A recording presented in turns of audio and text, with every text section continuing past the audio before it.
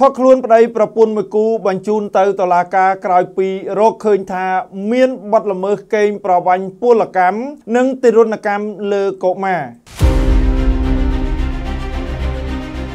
ក្រោយពីទទួលបានព័ត៌មាននិងការសំណុំពរពីអង្គការមេត្រីអន្តរជាតិ AIM លោកឧត្តមស្នេហ៍តូឈឿនសុចិត្តស្នងការនគរបាលខេត្តកណ្ដាលបានចាត់មន្ត្រីជំនាញការិយាល័យប្រឆាំងការជួញដូរមនុស្សនិងការពារអនិច្ចជន ដឹកនាំដោយលោកវរៈស្នេហ៍ឯករស់សវិននាយការិយាល័យប្រឆាំងការជួញដូរមនុស្សនិងការពារអនិច្ចជននៃស្នងការរដ្ឋាននគរបាលខេត្តកណ្ដាលសហការជាមួយកម្លាំងអធិការដ្ឋាននគរបាលក្រុងតាខ្មៅ និងមន្ត្រីមូលដ្ឋានបានចុះធ្វើការស៊ើបអង្កេតស្រាវជ្រាវនិងឃាត់ខ្លួនជនសង្ស័យទាំងពីរនាក់ប្តីប្រពន្ធក្រោយពីរកឃើញថាមានបទល្មើសកេងប្រវ័ញ្ចពលកម្មនិងទារុណកម្មលើកុមារតាមរបាយការណ៍ពីសមត្ថកិច្ចបានឲ្យដឹងថាករណីនេះកើតហេតុនៅផ្ទះរបស់ជនសង្ស័យភូមិព្រែកសំរោងសង្កាត់តាខ្មៅក្រុងតាខ្មៅខេត្តកណ្ដាលក្នុងនោះក៏មានជនរងគ្រោះចំនួន2នាក់ដោយជនរងគ្រោះទី1ឈ្មោះសបញអាយុ18ឆ្នាំភេទប្រុសនិង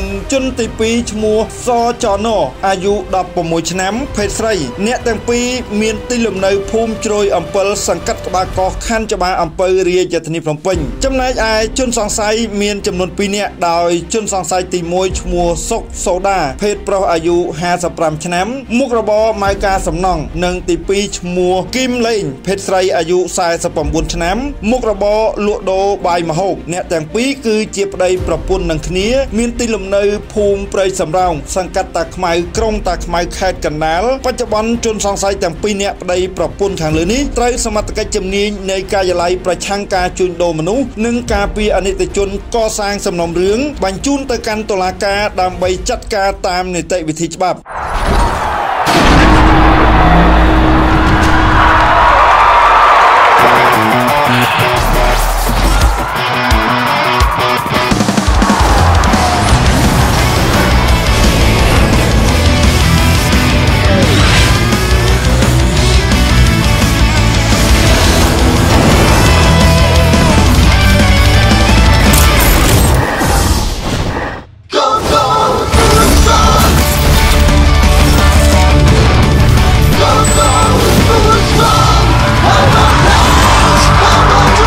Strong Power Plus. Power to win.